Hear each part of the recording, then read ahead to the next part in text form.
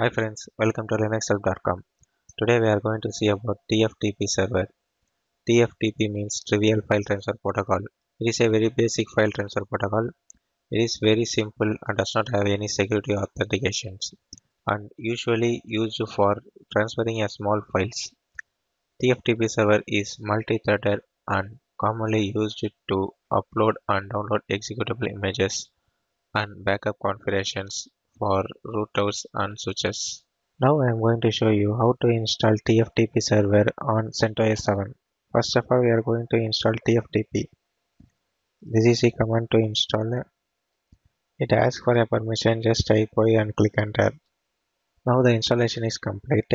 We have to make change in TFTP configuration file. So we have to go in, into TFTP configuration file.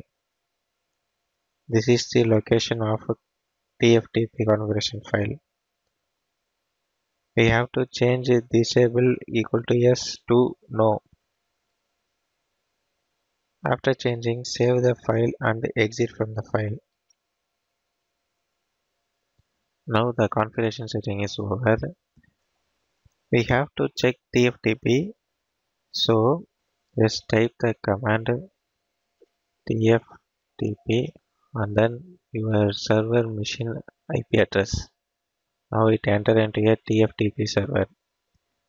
Here you can give question mark it will shows the command which is used in TFTP servers.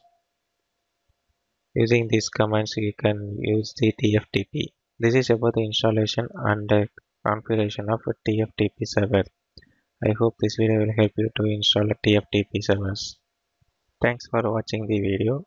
Please subscribe our YouTube channel Linux Help. For further tutorial visit www.linuxhelp.com. Any queries mail us to support at linuxhelp.com.